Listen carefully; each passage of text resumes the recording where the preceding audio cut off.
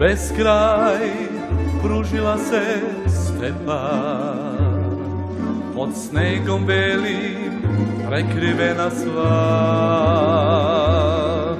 I nigde nema radosti ni cveća Ni sunca žarko život da mi da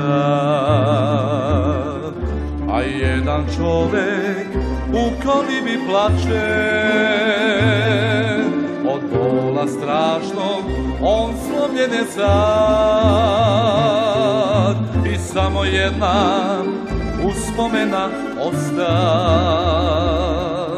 I jedno ime, jedan dragi lik. Sonja, Sonja, tvoje crne oči Bezbroj puta ljubio sam Sonja, zaboravit nikad neću tebe iz odeglog sna. Sonja, Sonja, gde je sada Sonja? U snu mrsim crne kose ja. Kad prolećni dani dođu, ja ću doći, znaj. Molit ću te, Sonja, vrati maj.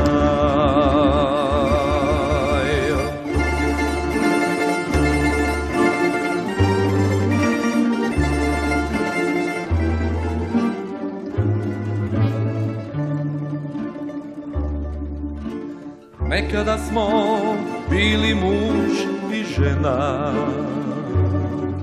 Ja dadoh tebi ceo život svoj. I nisam znao da si mi neverna Da drugog ljubiš, meni stvaraš bol A kada videh da je drugi ljubi Da njenu kosu on miluje sad. Ja nožem sivim reših udes ludi I daleko prognaše me tad. Sonja, Sonja, tvoje crne oči Bezbroj puta ljubio Sonja, zaboravit nikad neću tebe iz odbeglog sna.